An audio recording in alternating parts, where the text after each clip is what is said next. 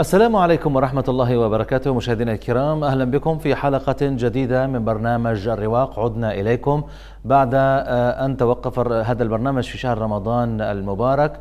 عودة جديدة اليوم في آه، آه، إحدى حلقات هذا البرنامج. تأسس التعليم الديني في ليبيا منذ القدم على أسس متينة منذ أن حط الصحابة أقدامهم في هذه البلاد لنشر الدعوة الإسلامية. فخرجت المساجد والزوايا علماء وآباء يتوارثون المناهج خلال الخمسينيات والستينيات. نشط التعليم الديني في ليبيا وخاصة حفظ القرآن الكريم وتعلم العلوم الشرعية واللغوية وتعليم المسائل الفقهية على طريقة المدرسة المالكية. ثم ضيق عليهم في فترة حكم القذافي قبل أن يعود مجددا بعد الثورة ليقف أمام كم من التحديات. غياب التعليم الديني وضعف عودته بشكل يليق به فتح مجالا للأفكار المتطرفة والمنحرفة لبث سمومها أمام أبناء البلاد. للحديث حول هذا الموضوع مشاهدينا أرحب بضيفي هنا الدكتور محمود سلام الغرياني هو الأستاذ الجامعي والباحث القانوني. وأرحب بضيفي من مصراتة عبر استوديوهاتنا هناك السيد عبد العزيز السويحلي. الخطيب والواعظ من استديوهاتنا في مصراتة أهلا بكم ضيوفي الكرام جميعكم. أبدأ بك دكتور محمود. اليوم آه، آه، آه، غياب التعليم الديني سبب تغول تيارات دعنا نقول دينية أخرى. ما تفسيرك لذلك؟ بسم الله الرحمن الرحيم. الحمد لله رب العالمين والصلاة والسلام على أشرف المرسلين سيدنا محمد وعلى آله وصحبه أجمعين. وبعد أشكر استضافتك يا أستاذ معتصم. وأشكر هذه القناة المباركة كما أحيي المشاهدين الكرام. نعم. بدون شك أن غياب التعليم الديني المناسب للمرحلة يسبب أثار شديدة الخطورة.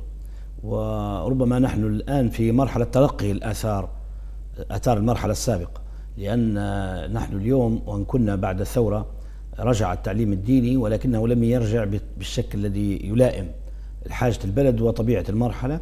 كما أن الأجيال التي آه، يعني آه، هي في مرحلة العمل العام اليوم هي تلقت التعليم في مرحلة النظام القذافي للأسف في مرحلة آه، التضييق التام على التعليم الديني. لنتكلم عن التعليم الديني لابد أن نقسمه إلى أمرين. الأمر الأول التعليم الديني العام ومرحلة الأمر الثاني التعليم الديني التخصصي. فهناك شق دائما يغفل عنه وهو مكانة التعليم الديني في آه، النظام التعليمي العام. للأسف الشديد أن آه، ربما نحن في آه، أجيال مختلفة في على سبيل المثال في الجيل الذي أنا منه في في التعليم العام والثانوية العامة والإعدادية العامة والابتدائية العامة كان النظام التعليمي الديني نظام له قوة لا بأس بها.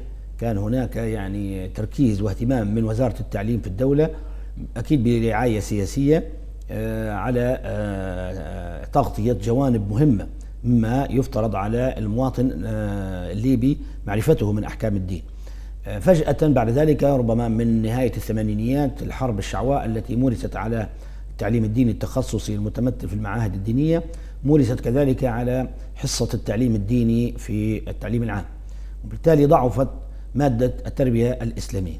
كانت التربية الإسلامية في المناهج القديمة تغطي جوانب الحياة المختلفة أصبحت تعاني من الشكلية آه، الشديدة والضعف الشديد وللأسف الشديد للأسف الشديد أن هذا بدأ تنازليا وزاد العد التنازلي بعد ثورة السابع عشر من فبراير وهذا للأسف يعني مما يستدعي البحث حوله والسؤال آه، سؤال الاستغراب والبحث. فأيضا هذا شق مهم جدا جدا في الهوية الوطنية الليبية آه، هوية الهوية التي يشكلها التعليم العام.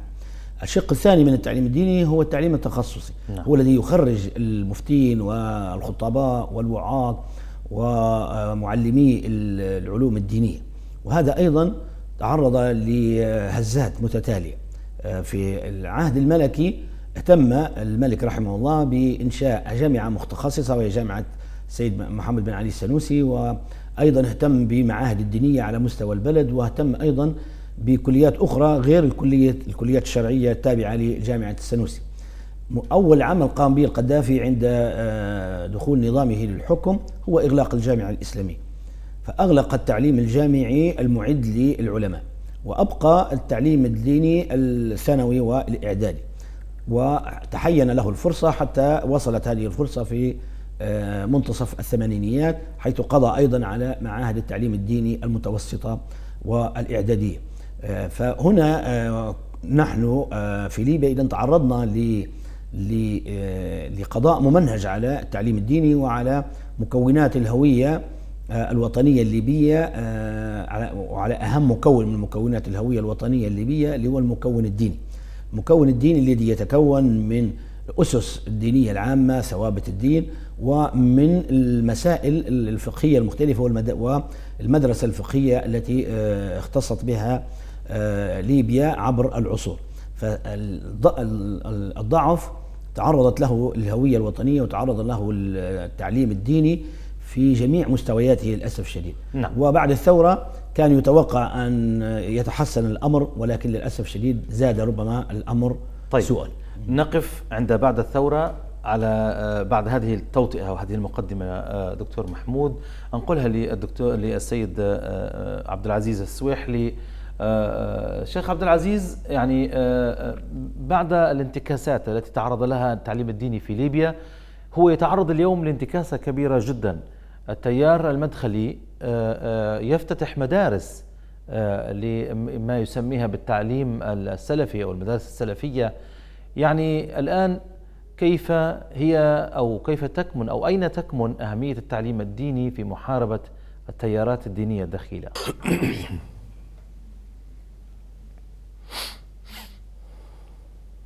نعم.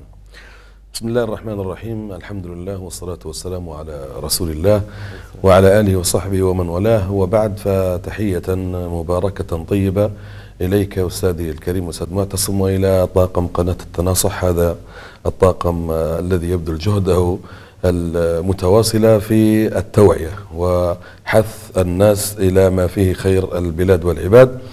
أولا التعليم الديني وعلاقته بالهوية وعلاقته بالوطن.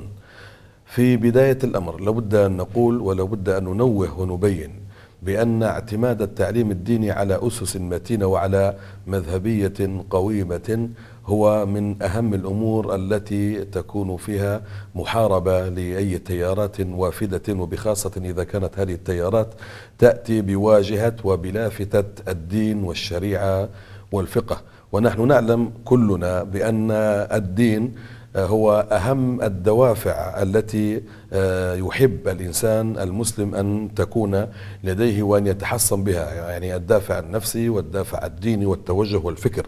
فمن هنا تكمن وتبرز الملامح يعني أو النوازع النفسية. فكان هناك استغلال واضح واستغلال بين وجلي جدا في وقت ندرة ونزوح الاعتماد الفقهي المتين في البلد.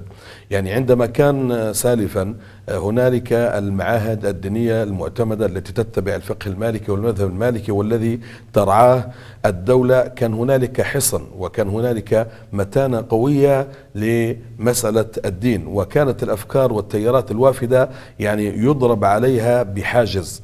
ويضرب عليها بسور ولن تستطيع اقتحام البلد. ولكن عندما أصبح هنالك تهلهل في آه، آه، الحد من مثل هذه التيارات وبخاصة ما حدث بعد ثورة 17 فبراير يعني عندما أصبح هنالك حرية مطلقة أصبح هنالك تيارات كثيرة وافدة يعني تأتي بواجهة الدين وتدس السم في الترياق أو كما يقولون يدسون السم في العسل.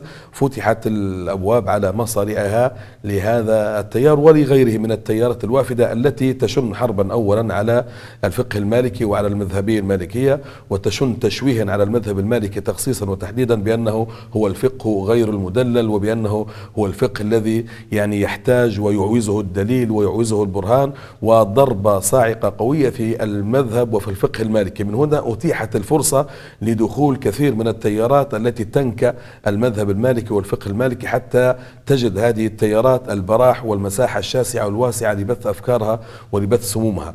آه، أولا وفي البداية آه، أي تيار يكون أو يمارس التعليم الديني ويمارس التعليم الشرعي تحت آه، نطاق غير نطاق الدولة ونطاق الوطن وغير المذهب الذي تسير عليه البلد. هنالك تحسن الطامة وهنالك يكون النزاع وهنالك يكون التشتت الحقيقي. نقول بأن التعليم الديني يفترض ألا يكون في دوائر خاصة. التعليم الديني تتبناه الدولة تبع المذهب الفقهي السائد في البلد.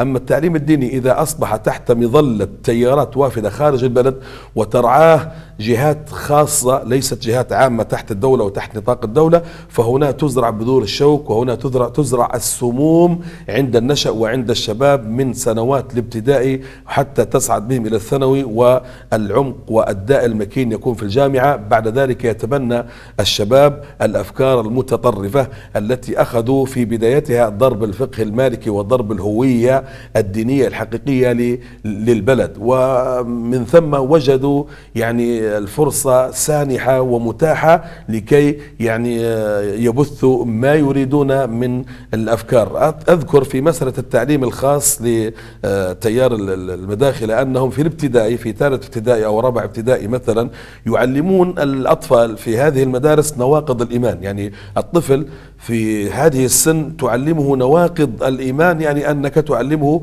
تمهيدا وهذا يكون تمهيد لمبدأ التكفير ومبدأ الشرك وهكذا ينشأ الطفل ويتربى على مبدأ إيش؟ التكفير.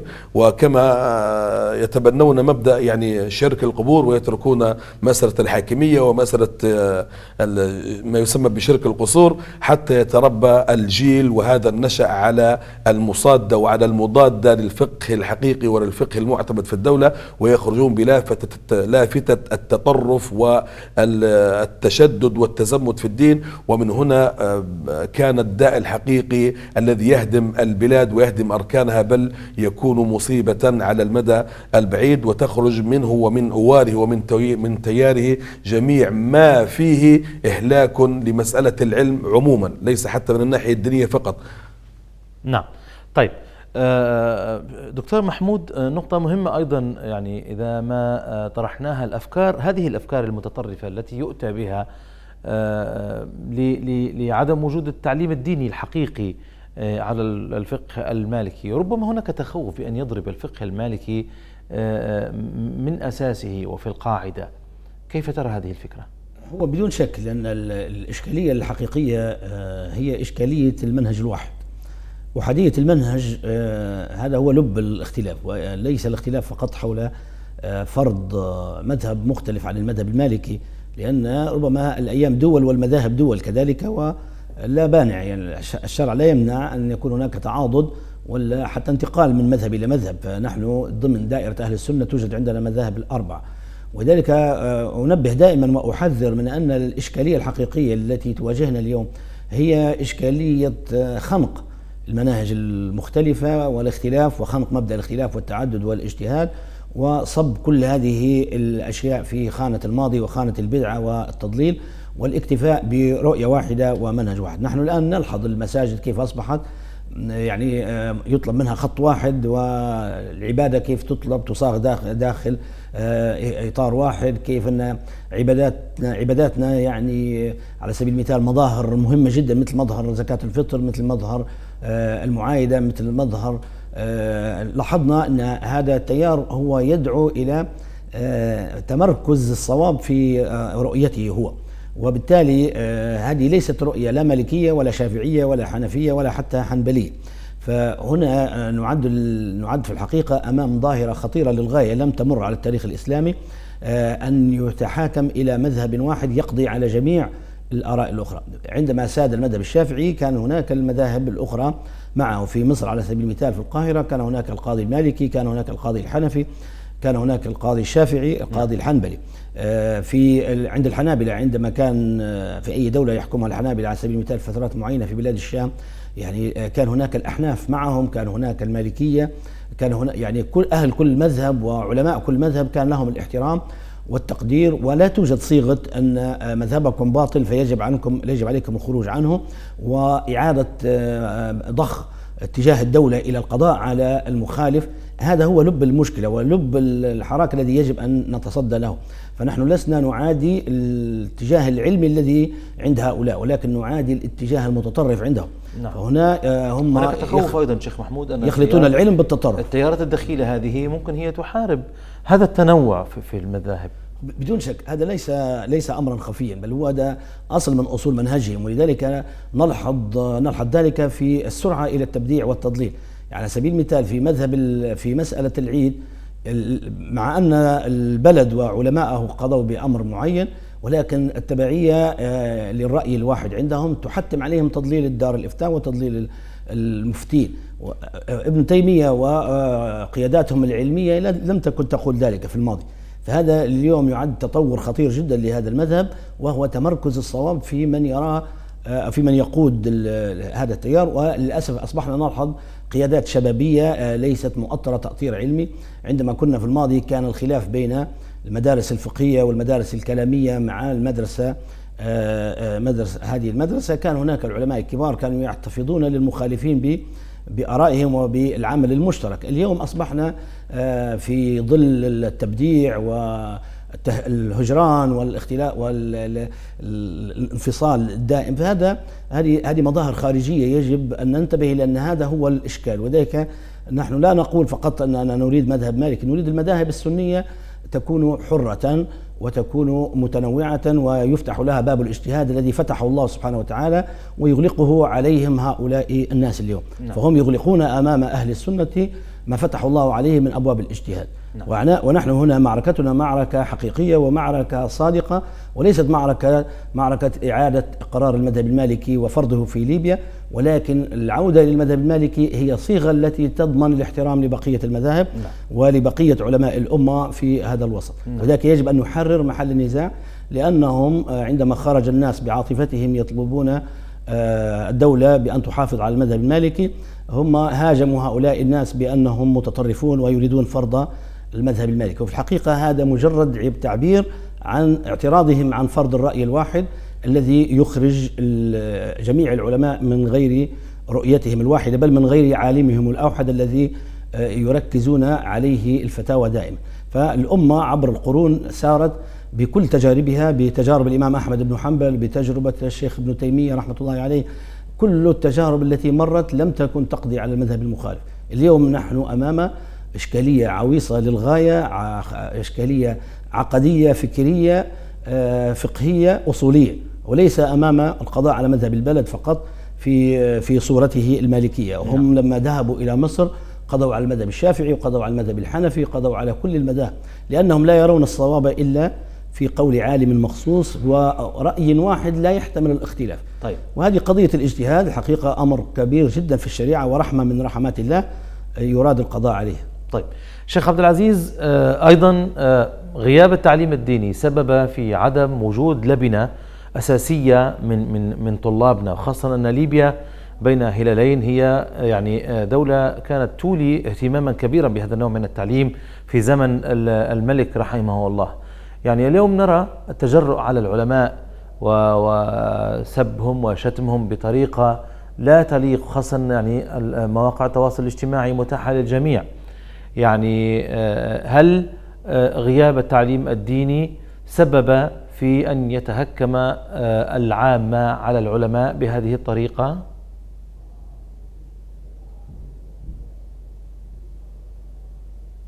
بسم الله الرحمن الرحيم هو لا شك أستاذ معتصم أن من الأسباب الرئيسة في تهكم العامه على علماء البلد هو غياب التعليم الديني أو الغياب الجزئي للتعليم الديني وهذا الأمر كان له سابق أيام القذافي عندما ألغى التعليم الديني وحارب التعليم الديني.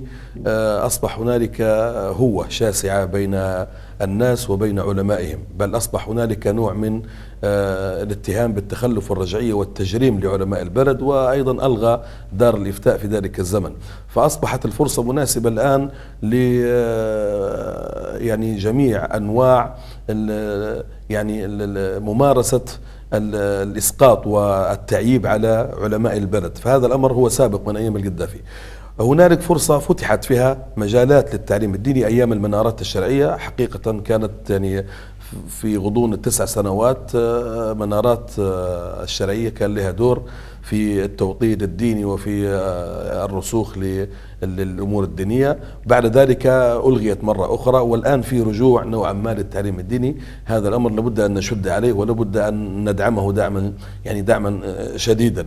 التيارات الوافدة التي آه، اتخذت فرصة النكأ وفرصة الطعن في العلماء إنما انطلقوا من محاربة المذاهب ومن يعني جعلوا مسألة قال الله وقال الرسول يعني بالغوا فيها حتى أسقطوا بهذه المسألة مسألة المذاهب الفقهية. ومارسوا الحرب الشعواء على المذاهب الفقهية وعلى الفرعيات في الأمور الفقهية ولم يعلموا أن هنالك التفاوت في الفهم وأن هنالك تفاوت الدليل وهنالك الفقه المقارن وأن الصحابة اختلفوا في فرعيات الأمور وفي الفقهيات ولكنهم لم يختلفوا ولم يحصل بينهم الحرب ولم يحصل بينهم يعني اللمز والطعن والتجريح. إنما هذه المدرسة الدخيلة التي أتت على البلاد واستشرت لا أقول في ليبيا فقط وإنما في كثير من بلدان الإسلام أتت بلائحة مكتوب عليها الطعن في علماء الأمة وهذا المبدأ مبدأ يعني ينطلق من ربما من بروتوكولات حكماء صهيون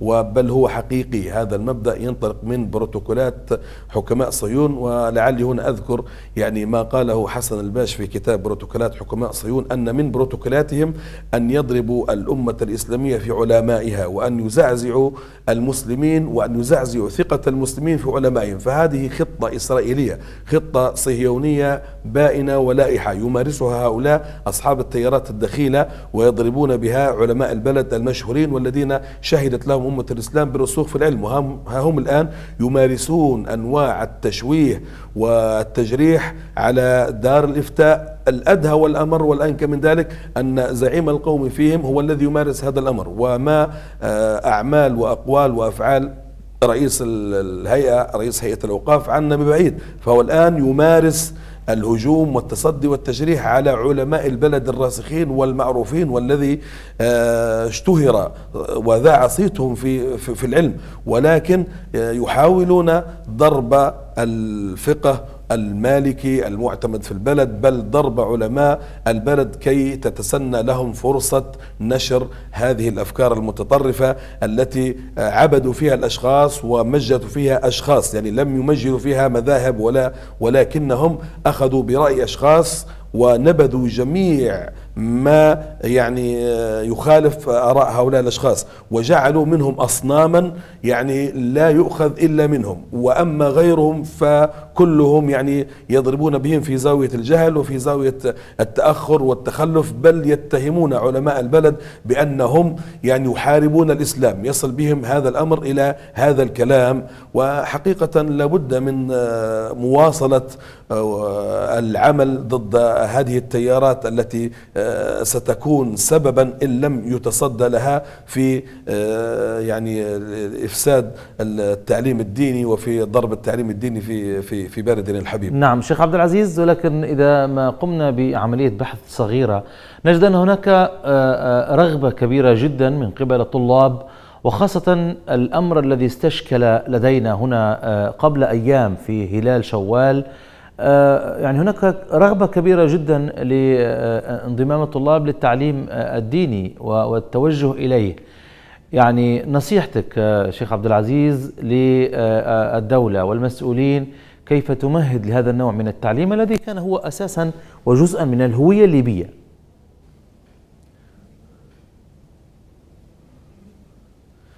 والله النصيحة الآن هي فرصة متاحة لتوجيه الطلاب والشباب إلى التعليم الديني. فمن هذا المنبر يعني نبعث برسالة آه، جادة وحقيقية إلى أصحاب القرار بأن يولوا هذا الأمر اهتماما بالغا وبأن يعني آه، يجعلوا مراكز آه، أو مدارس التعليم الديني المعتمدة والتي تتبع المذهب الفقهي المالكي السائد في البلد حتى يعني نجعل يعني سدا منيعا ضد أي تيار ديني وافد أو فتاوى مستوردة من الخارج. فهذا أمر رائد ويبين الهوية الدينية الليبية عندنا حقيقة فهذا أمر جيد وبوادره الآن موجودة الحمد لله في في في بلدنا المعاهد الدينية. يعني أمر جميل جدا ومن هذا المنبر ندعم هذه الأمور وعلى كل الخطباء وعلى كل الوعاظ وعلى كل العلماء أن يشدوا على دعم المعاهد والمدارس وكليات التعليم الديني التي تمثل مبدأ الرسوخ ومبدأ الحصن الحصين ضد أي تيار شرعي ديني متطرف يأتي من هنا أو من هناك. ولكن في هذه الحلقة أيضا نبين ونحط ونحث على نزع يعني أساس الفتنة وأساس توريد هذه آه، التيارات الوافدة وهو آه، رئيس الهيئة العامة للأوقاف. حقيقة يعني إذا قطع الرأس وإذا أبعد الرأس كان ما بعده أهون. نشدد على هذا الموضوع ونطالب من الحكومة بأن ينظروا إلى هذا الأمر وأن يولوه عين والاعتبار وبكل اهتمام حتى تأمن البلد من شر الفتاوى المستوردة ومن من شر التيارات الدينية الوافدة المتطرفة والمتشددة. وهنا هي الحرب الشعواء الحقيقية. الحرب الحقيقية على أي بلد مسلم هو أن آه، يؤتى هذا البلد من حيث الدين. ومن حيث الشريعة ومن حيث الفقه بأن يجعلوا من الدين السمح ومن الدين المعتدل بأن يقلبوا المعنى إلى الدين متطرف فهنا تحصل المصيبة التي نسأل الله سبحانه وتعالى أن ينجي بلدنا منها نكرر بالشد والاهتمام بمدارس التعليم الديني المعتمدة تحت نعم. مظلة الدولة والتي تمثل الفقه المالكي الرصين والذي يمثل الحصانة لدولتنا طيب آه، آه، دكتور محمود آه، أهمية التعليم التعليم الديني في ليبيا من زاوية أخرى سنتحدث عنها الآن وهي أن آه، آه، كانت هناك استشكالات دينية وفي في أمور ديننا ودنيانا قبل قضية هلال شوال. ولكن الآن آه، الجموع والجماهير والشعب رأى بأن يكون هناك الفقه الديني في العبادات وما إلى غير ذلك يستوجب أن تكون هناك قاعدة راسخة. يعني آه، آه، آه، كيف يمكن أن توضع أهمية التعليم الديني وأن يكون له قاعدة ثابتة لكي لا يستشكل علينا هذا الأمر حتى في أمور أخرى غير رمضان وفي في زوايا فقهية مهمة في حياتنا. نعم بارك الله فيك. هذا طبعا يرجع إلى سؤال هل كانت ليبيا تطبق الشريعة الإسلامية بشكل صحيح؟ هل كان النظام التعليمي في ليبيا نظاما صحيحا وسليما عبر التاريخ أم أنه نظام باطل وأصبح يحتاج إلى الاجتثاث وإعادة إنشاء نظام جديد. آه كثير من الناس الذين نتحدث حولهم اليوم الذين سببوا هذه الإشكالات هم عندهم عقيدة راسخة بأن المنظومة الليبية التراثية وإلى حد اليوم منظومة باطلة ومبتدعة وضالة ويجب اجتثاثها والبدء في بناء منظومة تعليمية وشرعية جديدة بأجيال جديدة. ولذلك هم يحاولون تنشئة الأجيال تنشئة جديدة. وهذا هو لب لب المشكلة. ولذلك الإمام مالك رحمه الله عندما أتاه الخليفة وطلب منه أن يؤلف كتابا ليعممه على جميع بلدان المسلمين حتى يصبح آه، ملزما بالإرادة السلطانية. الإمام مالك قال له إن هذا ليس من حقك فإن أهل كل إقليم قد استقلوا بعلماء أتوهم وبروايات ثبتت عندهم وبمناهج ساروا عليها ورأى أن تغيير الأقاليم عما استقرت عليه آه، ما دامت في إطار الصواب وفي إطار آه، التشابه الذي لا يمكن الترجيح بينه آه، فأمر الخليفة بعدم فعل هذه المسألة وإبقاء كل إقليم على ما هو عليه.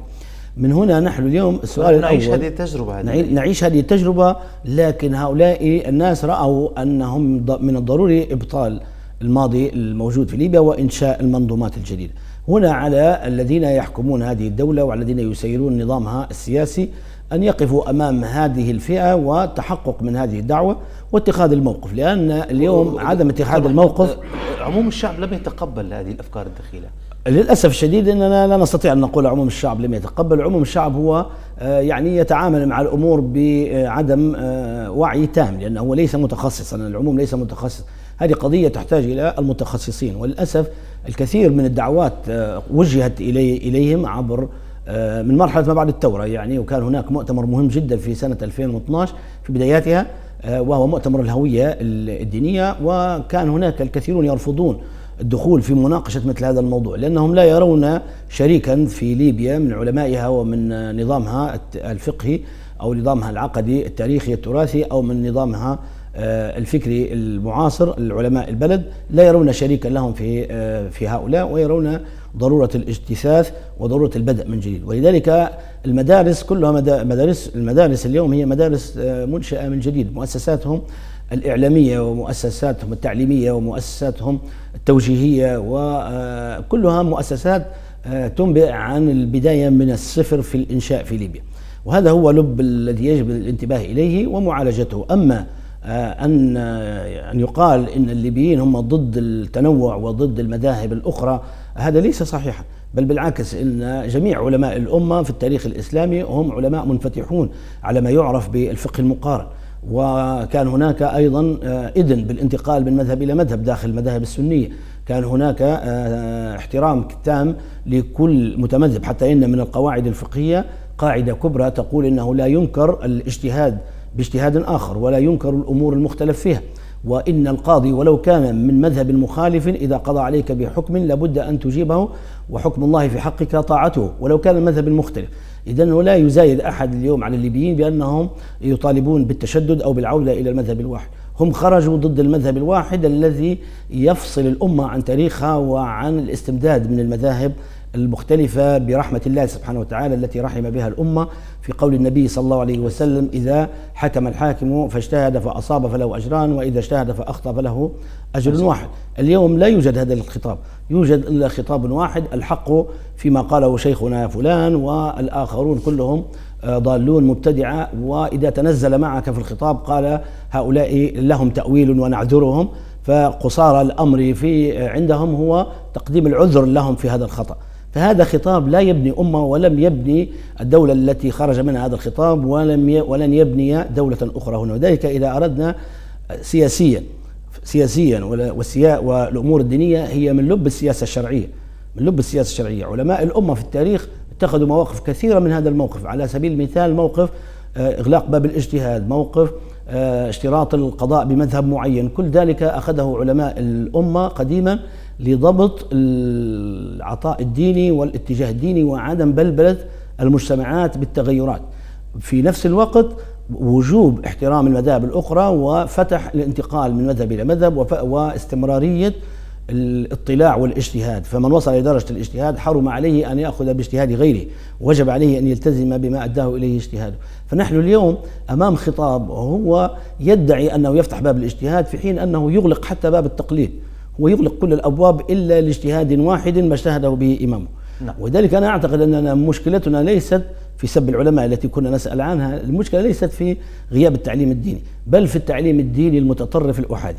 نعم. هي التي تجرئ على سب العلماء وتجرئ على تاريخ الأمة وتدفع الليبيين إلى أنهم لابد أن يغيروا منهجهم التعليمي آه، تغييرا تاما عن ظهر قلب، طيب. وهذا أمر لم يأمر به الله سبحانه وتعالى طيب. ولا رسوله ولا يمكن آه، واقعا تحقيقه طيب دعنا نسمع رأي الشيخ عبد العزيز السويحلي في هذه النقطة دكتور محمود شيخ عبد العزيز آه، يقول لك الدكتور محمود الغرياني يعني أن هناك يعني التيارات الدخيلة التي تحارب من قبل التعليم الديني إذا ما ما تم تقوية هذا النوع من التعليم الخطاب الواحد أيضا آه، الضدية التي تكون ضد المذهب الواحد. الأصل في الأمر أن آه، يكون هناك آه، استيعاب للمذاهب جميعها. يعني الفكرة الآن تريد هذا المذهب يريد أن يلغي كل هذا التنوع والبدء من جديد. كيف يمكن أن يرد على هذه الفكرة التي يراد أن تثبت في البلاد؟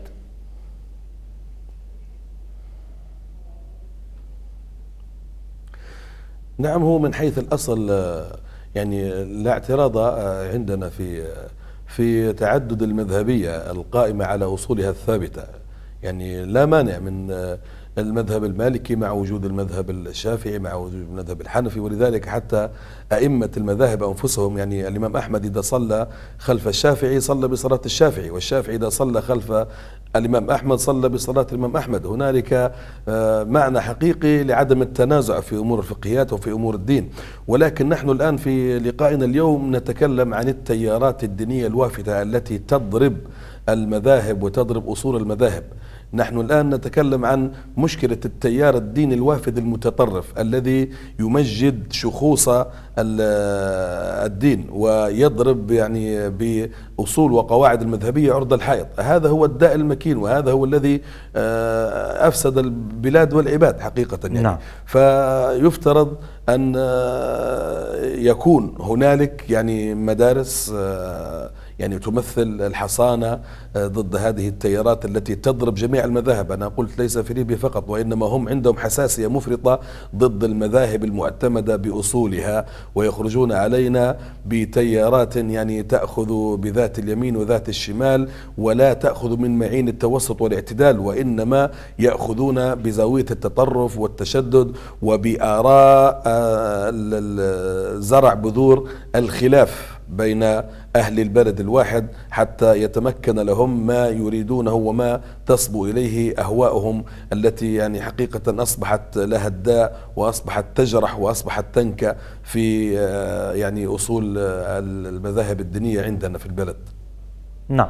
طيب من من زاوية آه، شيخ عبد العزيز أن هذا التعليم التعليم الديني هو آه، يعني ثبتت أهميته في الاستشكالات الأخيرة. آه، ربما هذه الفكرة طرحناها على الدكتور محمود آه، آه، الغرياني الآن. ولكن من من زاوية مختلفة شيخ عبد العزيز أن هل بإعطاء التعليم الديني مكانته المطلوبة أو التي كانت عليه في السابق؟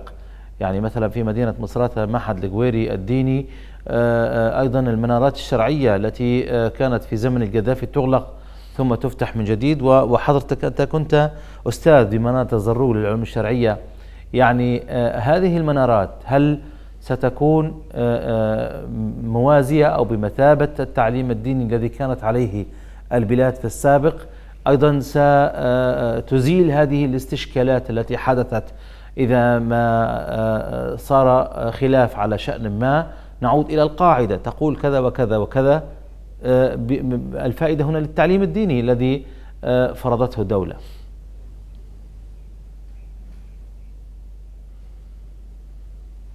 نعم لا شك في ذلك أن مدارس التعليم الديني تحت إطار الدولة ومعاهد التعليم الديني وكليات التعليم الديني التي تكون تحت عيون الدولة والتي تمثل يعني آه، رأس حربة ضد التيارات الدينية المتطرفة. هي حقيقة مصل عفاف ومصل دواء يعني في في البلد. وبإمكان هذه المدارس إذا استمرت وإذا دعمت من الدولة ومن جميع آه، يعني آه، المؤسسات في ليبيا سيكون لها الأثر البالغ والأهمية القصوى في محاربة هذه التيارات المتطرفة ونحن نتكلم من باب التجربة يعني المنارات الشرعية كان لها دور في تهيئة يعني طلاب العلم الشرعي وفي رصانة الفكر عند طلاب العلم الشرعي. كذلك آه، معهد القويري وما هو موجود الآن يمثل حقيقة الاستيعاب الجيد لمعنى وأهمية التعليم الديني المستقر في في البلد وما له من دور في محاربة التطرف الديني.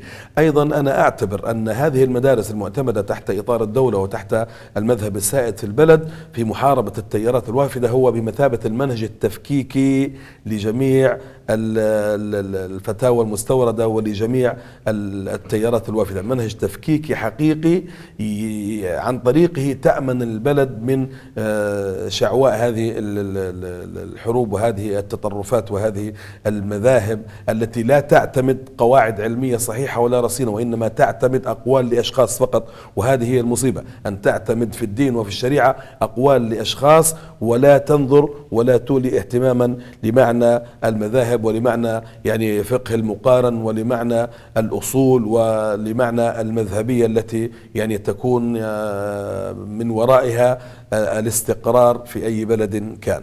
على الضفة الأخرى هناك تعليم يعني استحدثه هؤلاء المداخلة يسمونه بالمدارس السلفية. هذه المدارس هي يؤتى بمناهج ليس ربما من علم الدولة في شيء لا يعلم محتوى هذه المناهج وهناك مريدين لهذه المدارس شيخ عبد العزيز. يعني ما رأيك في هذه المدارس الغير خاضعة للدولة؟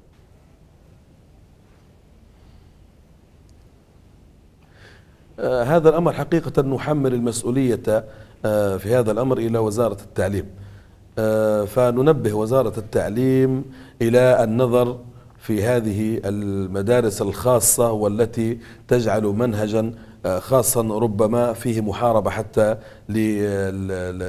للمذهب الديني وللفقه عندنا في هذه البلد. فكما قلت يعني آنفا قبل قليل بأن هذه المدارس الخاصة التي تأتي بمناهج مستوردة تجعل في مناهجها ما فيه يعني تعليم أو تنشئة على مبدأ التكفير.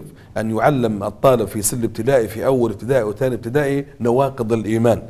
أو أن يجعل مثلا كتاب كشف الشبهات لمحمد بن عبد الوهاب أساس في في في في سن الابتدائي أو في سنوات من أول وثاني وثالث إلى سنة سنة سادس ابتدائي. أن يعلم وأن يعطى وأن يعني يشحن ب قواعد أو بمقالات أو بتعليم من كشف الشبهات لمحمد عبد الوهاب هذه يعني مسألة جد خطيرة. فلا بد أن تنتبه وزارة التعليم إلى هذا الأمر وتليه الاعتبار والاهتمام. يفترض التعليم الديني لا يكون في مراكز خاصة أبدا. التعليم الديني لا يكون إلا تحت إطار الدولة لا يكون إلا تعليما عاما تنظره الدولة وتريه الاهتمام البالغ جدا لأنه إن استقامت معالم الدين والفقهيات واستقامت أمورنا الشرعية وكانت على حد سواء وعلى كلمة سواء هنا نأمن من غائلة التطرف وبوادر التطرف ومفاسد التطرف الحقيقي. نعم.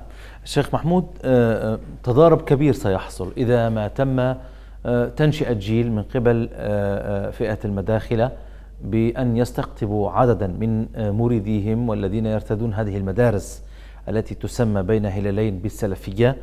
وبين آه، آه، المنهج الديني العام في ليبيا وبين ما آه، يعطى لهم في المدارس العامة بين الغالبية وبين الأقلية. يعني هناك تضارب كبير سيحصل. كيف يمكن أن يعني إحداث حل أو لهذه الإشكالية إذا ما استفحلت؟ بدون شك. آه، لو سمحت قبل قبل ذلك أمهد بالتفريق بين المنظومتين التعليميتين التعليم الديني المستقر الذي نحن ندعو إليه والذي هو جربناه وكان مستقرا في ليبيا وفي غيرها من البلدان الإسلامية نعم. والمنظومة التعليمية التي ننتقدها. فنحن لا ننتقدها باعتبارها تدرس مذهبا فقط. آه، إذا قارنا فالمنظومة المذهبية اللي كانت مستقرة هي في الحقيقة تقوم على ثلاث شعب. الشعبة الأولى آه، تعليم مذهب البلد. فتقوم على تعليم مذهب البلد بضوابطه وبكتبه المنهجية وحسب المدرسة التعليمية آه، المستقرة لأن إتقان مذهب آه، البلد مع إتقان المذاهب الأخرى في الأقاليم الأخرى لمذاهب بلدانهم سيقوي العلم الشرعي في الأمة. هذا المبدأ الأول. المبدأ الثاني هو تقوية احترام الاجتهاد المختلف. في أثناء دراسة المذهب يعلم أيضا قواعد أصول الفقه وقواعد الفقه المقارن وقواعد دراسة الاستنباط ومناهج العلماء المختلفين مع تقبل الاجتهاد الآخر واستيعابه.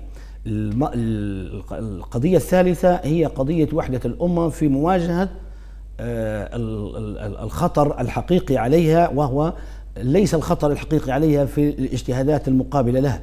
الاجتهادات المماثلة لها مثل المذاهب الفقهية أو الكلامية اللي كانت سائدة. وإنما ما هو من البدع العقدية أو البدع الخارجة عن مذاهب أهل السنة والجماعة. نعم. فإذا هي كانت تؤسس لمذهب وتوحد المذهب هذا المذهب وتربطه بوشائج مع المختلفين معه من من من أهل الفكرة نفسها من داخل أهل السنة اللي هم الاجتهادات الأخرى وتوضح له المخالف الحقيقي. الذي يتوحد الأمة ضده. فهذه الأركان الثلاثة هي التي من أجلها نحن ندعو إلى الاستمرار التعليم الديني التقليدي الذي حمته الدولة قديما والذي آه، ما زال موجود في كل دول العالم الإسلامي التي تمسكت بنظمها المستقرة هذا النظام الجديد للأسف هو لا يقوم إلا على فكرة واحدة هي فكرة الحق واحد وكل ما خام من غير مجتهدين فهو آه، خطأ متعين تخطئته. فإما أن نعذرهم وإما أن نبطله ونقف ضده.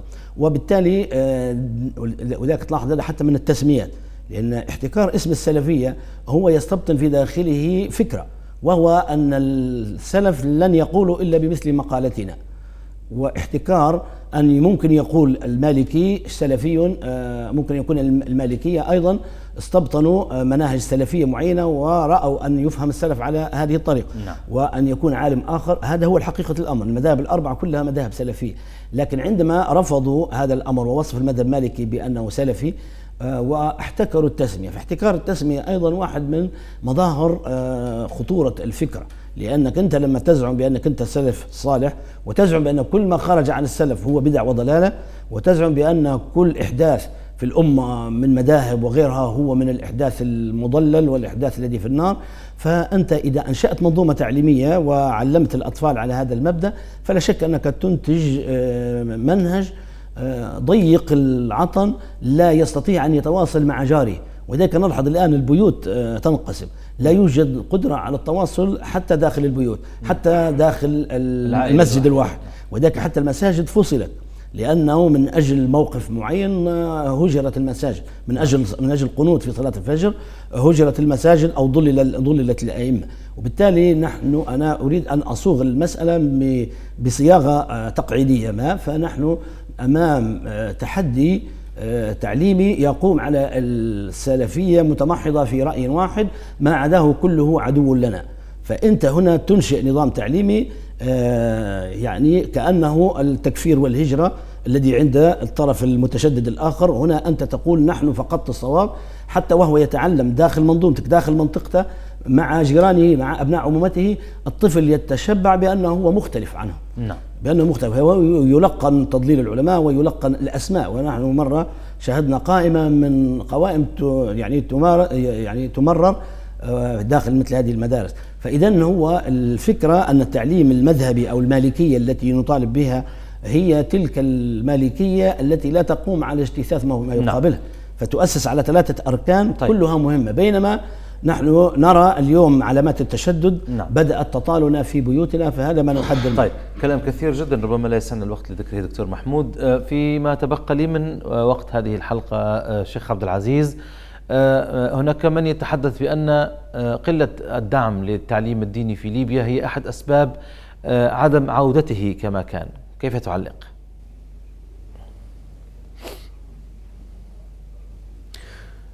نعم هذا الأمر فعلا حقيقة يعني قلة الدعم للتعليم الديني وعدم مؤازرة التعليم الديني في ليبيا هو الذي جعل آه، الاستشراء وانتشار آه، التيارات المتطرفة الأخرى التي تدعي معنى آه، أو استيعاب واستغلال مسمى السلفية في هذا المعنى.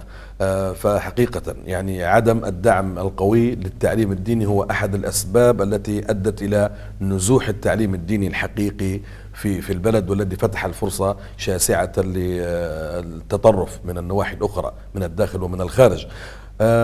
بالأمس القريب فقط يعني نسمع يعني فتوى أو كلمة للمدعو طارق درمان يقول بأن السلفية هي الدين وأن السلفية هي الحق وأن من كان خارج السلفية فهو ليس من الفرقة الناجية. تصور أن هذا الخطاب يسمعه الشباب المراهق الشباب الذي يبحث عن التدين وعن دافع التدين ويسمع الحديث ورواه كذا ورواه كذا وكذا.